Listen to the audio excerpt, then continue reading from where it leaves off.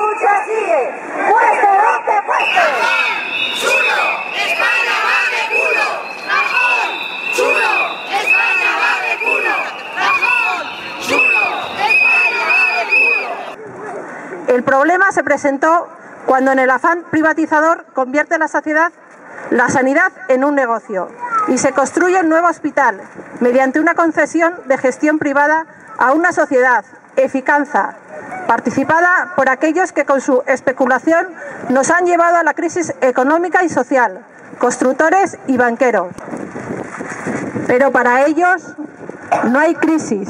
Hay que pagarles el enorme coste de, este hospital, que supone que todos los recursos públicos destinados a la sanidad de Burgos se los coma. Así han conseguido cerrar primero el antiguo hospital militar, después el Hospital General Yagüe y finalmente el Hospital Divino Vallés. Dentro del caótico cierre se garantizó el traslado del personal contratado directamente por el SACIL al nuevo hospital de Burgos. Pero cuando el pasado mes de junio comienza el cierre de plantas del hospital y el traslado de pacientes, 16 trabajadoras de la limpieza reciben una carta de la empresa contratista de la limpieza en el referido hospital, señalando que a partir del 1 de julio pasarían a prestar su trabajo para la empresa contratista de la limpieza del hospital. La realidad fue que el día señalado nos encontramos que tanto la contratista como la concesionaria se desentendieron de nuestra contratación. Dicha situación se repite con dos compañeras más en agosto. Definitivamente, el 30 de noviembre se cierra toda la hospitalización y con ello las otras 40 trabajadoras estamos condenadas, si no lo impedimos, al despido a partir del 1 de diciembre. El SACIL, Junta de Castilla y León, ha decidido cerrar el Hospital Divino Vallés, alegando la falta de recursos económicos, cerrando las plantas de hospitalización y trasladando los servicios al Hospital Universitario de Burgos dejando en la cuneta a aquellas trabajadoras de cocina, cafetería y limpieza para mantener los beneficios económicos de la empresa privada que gestiona el nuevo hospital, Eficanza, dándonos las pautas de cómo va a funcionar el rimbombante Hospital Universitario de Burgos, de gestión privada y propiedad privada de este hospital, poner por encima de los usuarios y de los trabajadores los beneficios empresariales. Mientras tanto, el SACIL, Junta de Castilla y León, responsable político de la situación, se lava las manos como Pilatos. Deciros que la indiferencia, la falta de responsabilidad y las promesas y las mentiras de las empresas contratistas de eficacia del SACIL no conseguirán acallar nuestras voces, que mientras no se solucione esta situación Nos rendiremos y mientras que sea necesario continuaremos con nuestra lucha, que también es la vuestra. No nos cabe la menor duda que tras nosotras, tras el personal sanitario y el, el médico, las siguientes víctimas serán los burgaleses y burgalesas que necesiten de la sanidad, al poner por encima de la calidad y del servicio el beneficio de los accionistas de Ficanza y de los políticos que lo amparan.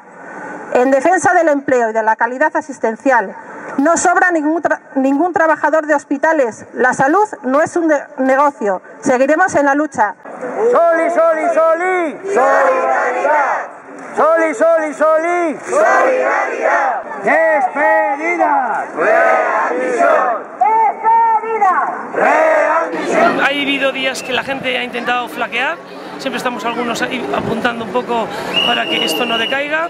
Eh, bueno, estamos un poco a la espera todos los días de que Figanza, como así hemos pedido a la gente del SACIL, como es al señor Pedro Aldivieso, que se ponga en contacto con nosotros para poder llegar a un acuerdo y poder eh, eh, bueno, pues intentar subsanar esto, incluso como ellos han debido proponer, quitar incluso las, las demandas y tal.